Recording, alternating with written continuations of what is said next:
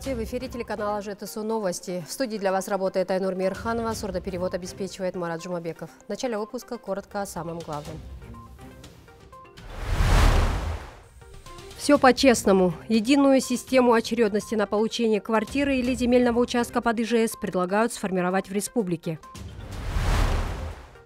Что наша жизнь – игра. Областной драматический театр открыл новый сезон – Пришел за услугой, ушел с подарком. Центр обслуживания населения дарит своим клиентам подарки.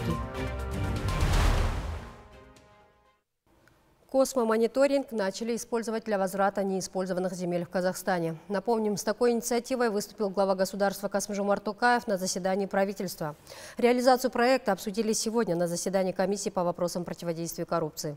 Пилотный проект уже успешно внедрен в ряде регионов страны, в их числе Восточно-Казахстанская, Костанайская и Акмолинская области.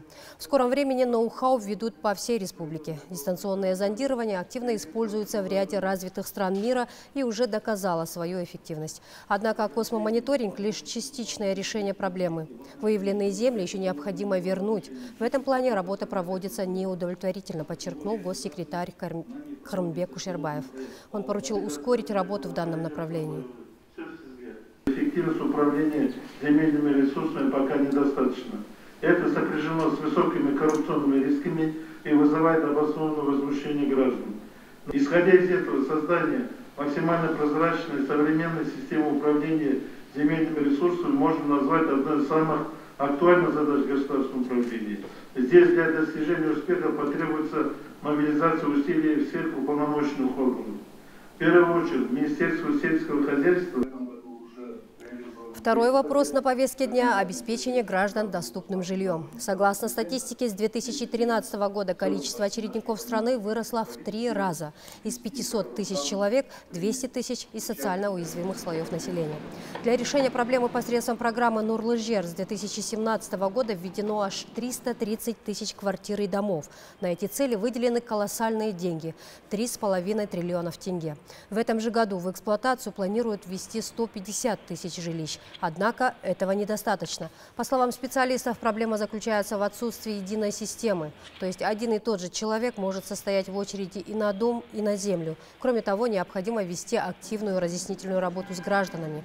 Ответственные лица в каждой области должны донести до граждан о плюсах ипотечного кредитования. Нет мздоимству. Республиканская мониторинговая группа продолжает проверку госучреждений на предмет коррупции.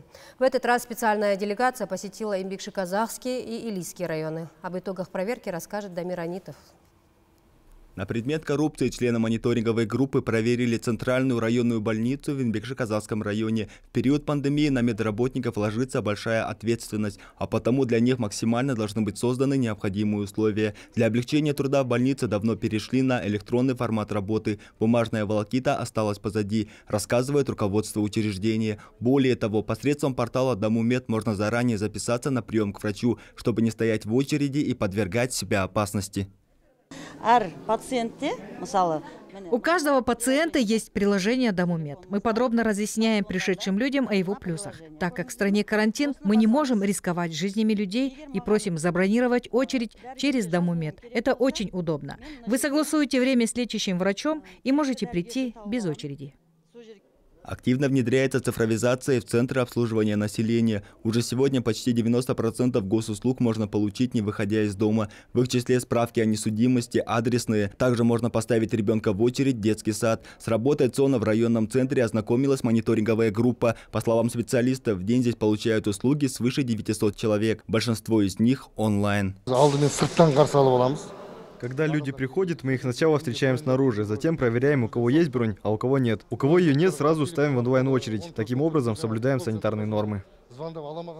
Создание комфортной среды с условиями содержания заключенных ознакомила специальная республиканская мониторинговая группа. Члены делегации посетили учреждение ЛА-155-4 ДУИС по Алматинской области. Представители делегации осмотрели жилые помещения и медико-санитарную часть и условия проживающих дома ребенка, что находится на территории колонии. На сегодня здесь проживают 22 ребенка до 3 лет. Как выяснилось, для них созданы все необходимые условия. Помещение мало чем отличается от уютного дома. В финансовом плане переезд будет обходиться где-то около миллиарда. Вот здесь 150 миллионов дайте, и они приведут все в порядок. Дайте как следует вот эти... Ну, с Акиматом мы сегодня проговорили, вот, э, чтобы это косы вот туда подключить, чтобы сливы были, чтобы санитарные нормы соблюсти. Затем в торжественной обстановке с соблюдением всех санитарных норм состоялось открытие трикотажного цеха по пошиву нательного белья. Оборудование современное, имеется сменная одежда. Теперь заключенные могут реализовать себя и принести пользу обществу, говорят представители учреждения. В целом, члены республиканской мониторинговой группы остались довольны условиями содержания осужденных, однако дали ряд рекомендаций, которые, по их мнению, помогут создать комфорт. Дамир Анитов, Хурманжан Касымжанұлы, телеканал «Жетсу». Свыше 1 миллиарда тенге затратят на реконструкцию пешеходных дорожек по Талдыкурганской улице Кабамбай-Батыра. Благоустройство территории подойдет к финишу уже к концу сентября. На сегодняшний день выполнено около 70% работ. Комплекс строительных работ включает в себя демонтаж асфальтового покрытия пешеходных зон, укладку брусчатки, установку скамеек, освещение и малых архитектурных форм. Первый заместитель Акима Алматинской области Лязат Турлашев проинспектировал в очередной раз ход строительства и поручил соответствующим отраслевым руководителям руководителям усилить контроль за качеством и своевременной сдачи объекта к сроку.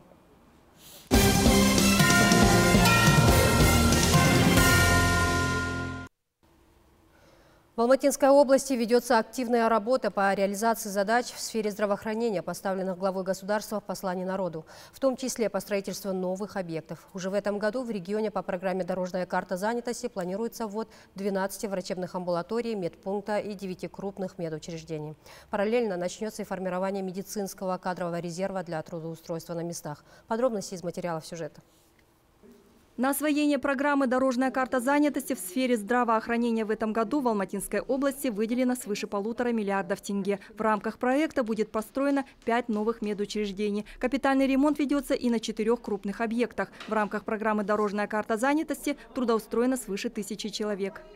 В свете послания президента о э, введении новых объектов э, на селе у нас сейчас будет построено в этом году по ДКЗ программе 5 э, объектов. Из них самый крупный – это э, врачебная амбулатория на 100 посещений – Эргеле поселка, это Карасайский район. В числе объектов, подлежащих капитальному ремонту и областной перинатальный центр города Талтыкурган. Медучреждение 1992 года постройки рассчитано на 220 койко-мест. Не считая замены фасада, серьезное обновление здания проводится впервые. Работы по дорожной карте занятости здесь начались в мае месяце. На объекте трудятся 105 человек, трудоустроенных в рамках проекта. На капитальный ремонт из областного бюджета выделено более 1 миллиарда тенге. Закончить работы подрядной организации обещают до конца текущего года. Все работы должны закончиться в этом году, до конца года. Это четыре объекта. Это наш самый крупный, это областная э, перинатальный центр, э, Панфиловский район благоустройства, э, Щелек также благоустройство и врачебная амбулатория Алгабас. Э, на сегодняшний день, вы сами видите, работы идут в срок и качественно. Реконструкция Волгобасской амбулатории предусмотрела перепланировку, от чего здание стало гораздо функциональнее. Отведено помещение под лабораторию, фильтр и другое. Есть и дневной стационар на 5 койко-мест. Также проведено сейсмоусиление. Наряду с этим установлены две печи для твердого и жидкого топлива. К началу октября медперсонал амбулатории уже сможет приступить к работе. У нас имеется 9 амбулаторий, 9 физических пунктов и 9 медпунктов. Э, все амбулаторные оснащены автомобильной машиной, санитарной машиной. По ДКЗ вот в Алгабасе работали 10 человек по ДКЗ, в станции Коксу 10 человек и в Айнаблаке 10. Вот, общий тут 30 человек по ДКЗ работали. А вот ну, уже на 20, 121 миллионов денег выделено было на капитальный ремонт. Капитальный ремонт очень все качественно проведен, у нас соответствует стандарту Санпину все полностью. У нас имеются кабинеты, фильтры, чтобы сортировать больных, температурищих полностью. Обслуживание населения, 10,5 тысяч населения. В текущем году для новых и действующих медучреждений области будет приобретено медицинское оборудование. На эти цели из областного бюджета выделено свыше 7 миллиардов тенге. Гульмира Тимиргалиева, Абзал Нусипов, телеканал ЖТСУ. Ряд новых бизнес-проектов в сфере услуг заработал в Раимбекском районе. Соответственно, созданы и новые рабочие места. Это стало возможным в рамках программы развития продуктивной занятости и массового предпринимательства «Имбек». Молодой житель села Нарынхол Багашар Лескенула любимым делом занимается уже два года и только в этом году узнал о безвозмездной помощи от государства. Сразу же обратился в Центр занятости, где помогли ему разработать бизнес-план. Теперь это не просто прием заказов на дому, а полноценная мастерская. От клиентов отбоя нет, говорит довольный предприниматель. Микроскоп вакуумный ламинатор Приобрел микроскоп и вакуумный ламинатор. Для качественного выполнения работы эти приборы очень нужны. До этого мои земляки из-за ремонта одного мобильного телефона были вынуждены выезжать в город, а это не менее 300 километров. Не все это могут себе позволить. Учитывая это, я и открыл здесь мастерскую по ремонту сотовых телефонов. Есть план для расширения. Будет мастерская по ремонту другой бытовой техники помощи от государства нуждался и другой житель Нарынкола – Сабигат Ахмед. После окончания высшего учебного заведения ему трудно было найти стабильную работу у себя на родине. Тогда Сабигат обратился в Центр занятости, где ему предложили пройти молодежную практику в районном Акимате. Жастар практикасында тәжірибесінде на практике я обрел определенный опыт, также показал свои способности, после чего меня взяли на работу в государственный правовой отдел. Работа мне очень нравится, и что самое главное в государственной программе – это то, что практика оплачиваемая. Государственная программа также может оказать содействие в трудоустройстве и на социальное рабочее место. Именно этим направлением программы «Еңбек» воспользовалась Гульшат Абдрешева. После декретного отпуска найти хорошую работу в райцентре помогли сотрудники Центра занятости.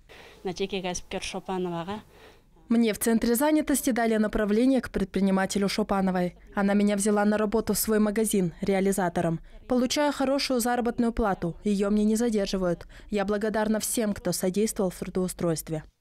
Многие жители села планируют расширить имеющийся бизнес и даже с низкой зарплаты получить кредит через центры занятости. Однако это не всегда возможно, поскольку главным условием подобного займа должно быть залоговое имущество.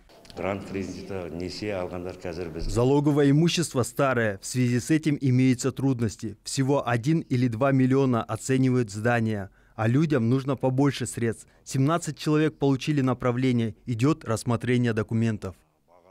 Отмечается, оказывая помощь начинающим предпринимателям, государство решает и свои задачи. В первую очередь снижается уровень безработицы. Именно эту цель преследует государственная программа «Еңбек». Благодаря ей практически любой безработный гражданин получает возможность не только трудоустроиться, но и начать собственный бизнес. Гульназ Мустафа, Ержан Дюсен, телеканал ЖТСУ, Раимбекский район. К новостям республики. Жилищный скандал. Более сотни семей требуют свои квартиры в Актау. Люди полностью внесли предоплату, но уже три года вынуждены ютиться у родственников или арендовать жилплощадь. Первый застройщик сидит в тюрьме. Второй и рад бы довести дело до ума, но Акимат развел бумажную волокиту. ЖК «Атамикен» обещали сдать в 2017 году, но за махинации застройщика посадили. Обязательство приняло на себя другое товарищество. Новоселье анонсировали в 2018 году, но снова не случилось. Владельцы квартир считают, что новая компания потратила потратила их деньги на другие свои объекты. Глава компании-застройщика признает, проблемный объект он не сразу хотел брать, но согласился, потому что в Акимате Актау очень уговаривали и обещали золотые горы. Застройщик все же обещает сдать дом к концу года. По его словам, сейчас проблема не в финансах, а в рабочей силе. Из-за пандемии все строители разъехались по домам страны ближнего зарубежья. Спустя 20 лет задержали наркодилера в Усть-Каменогорске. 50-летний уроженец Павлодара водворен в изолятор временного содержания. Как рассказали в полиции, в марте 1998 года мужчина незаконно приобрел у неустановленных лиц марихуану в особо крупном размере. Наркотическое средство он перевез в Усть-Каменогорск и незаконно хранил у себя дома. При обыске квартиры полицейские обнаружили запрещенное к обороту вещество, а также денежные средства, вырученные от продажи наркотиков. Однако самому подозреваемому удалось скрыться. Было возбуждено уголовное дело, наркоторговца объявили в розыск. На поиски наркодилера ориентировали весь состав полиции, направили ориентировки по республике и даже за его пределами. Однако разыскные мероприятия положительных результатов не давали.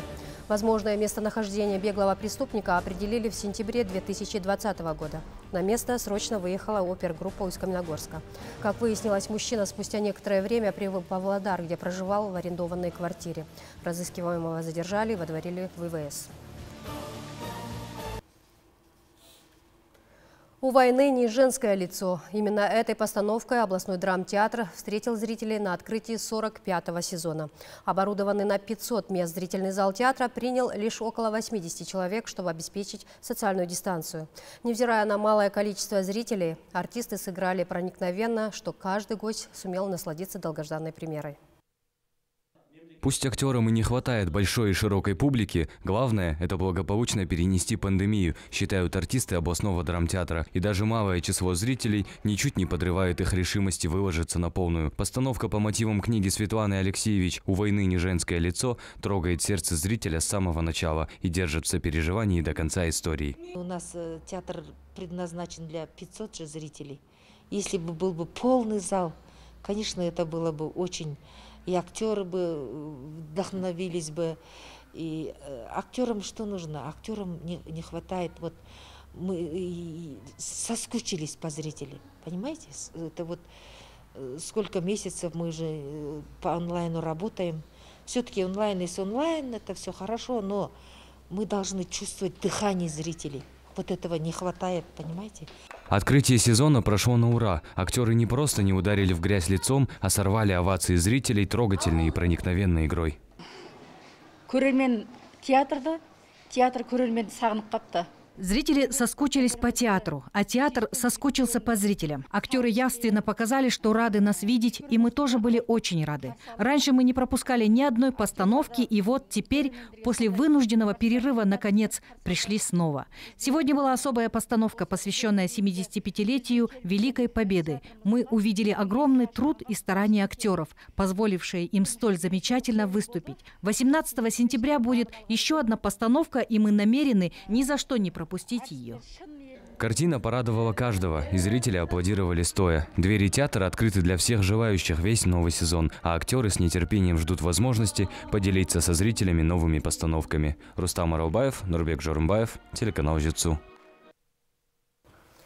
Продолжаю выпуск. Свежие традиции. В ЦОНе Талдыкургана дарят подарки тем, кто впервые пришел получать паспорт, свидетельство о рождении или оформлять пенсию.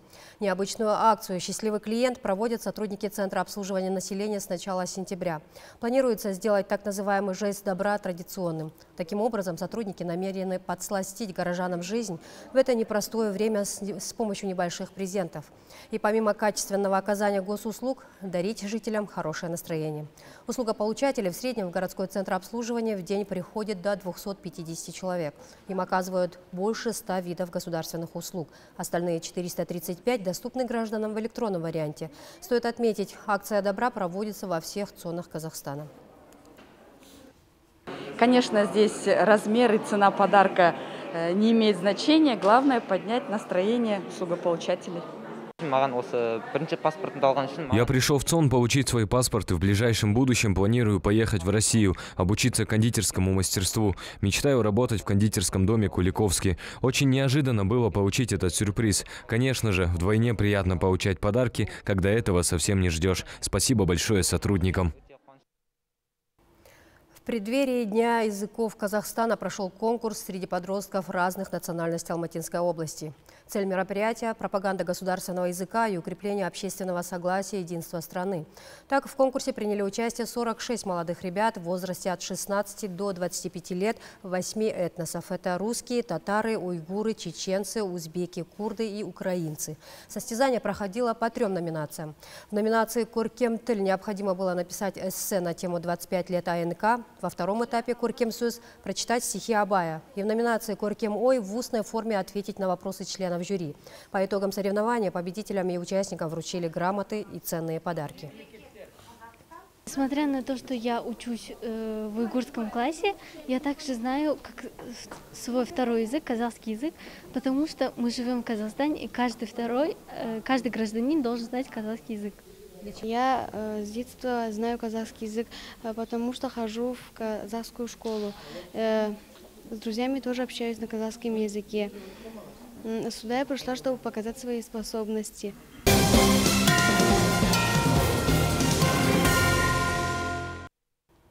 Французские врачи готовятся ко второй волне коронавируса. Палаты уже заполнены наполовину. Самому молодому пациенту 36 лет. Врачи утверждают, что в больницах есть запас материалов и медикаментов, позволяющий работать при максимальной нагрузке 10 недель. Готовы и резервные места в реанимации. Число госпитализированных пациентов с COVID-19, в том числе тех, кому необходима интенсивная терапия, постепенно растет. Но все еще очень далеко от весенних показателей, так что у врачей есть возможность не отменять не связанные с коронавирусом коронавирусом операции, как это приходилось делать весной. Этой находке не менее 22 тысяч лет. Прекрасно сохранившуюся тушу пещерного медведя ледникового периода нашли якутские оленеводы на острове Большой Ляховской Новосибирского архипелага между морем Лаптевых и Восточно-Сибирским морем. У вымершего 15 тысяч лет назад, тому назад, животного благодаря вечной мерзлоте сохранились зубы, шерсть, нос и все внутренние органы. Настоящий кладезь для ученых, ведь и раньше удавалось найти лишь кости пещерного медведя. Радиоуглеродный анализ позволит определить определить точный возраст животного. Предполагается, что он жил от 22 до 39,5 тысяч лет тому назад. Власти Греции объявили об аресте шести подозреваемых в поджогах, в результате которых полностью сгорели, сгорел лагерь мигрантов Мория на острове Лесбос. Все задержанные – выходцы из Афганистана, двое из них несовершеннолетние. После пожара они были эвакуированы на материковую Грецию. Сейчас с ними проводятся следственные действия. Расследованием пожара на Лесбосе занимается лично министр защиты граждан. Сейчас уже определено место строительства нового лагеря. По словам властей, Евросоюз обязательно продемонстрирует большую солидарность с Грецией Швеции в решении проблемы мигрантов.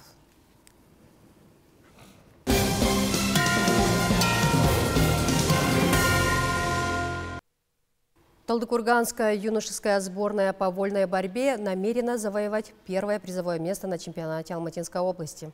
Сейчас юные борцы приступили к тренировкам в спорткомплексе «Жастар». На ковер ребята выйдут уже в ноябре. Конкуренция среди юниоров высокая, ведь на оригинальном первенстве выступят сильнейшие вольники из всех районов.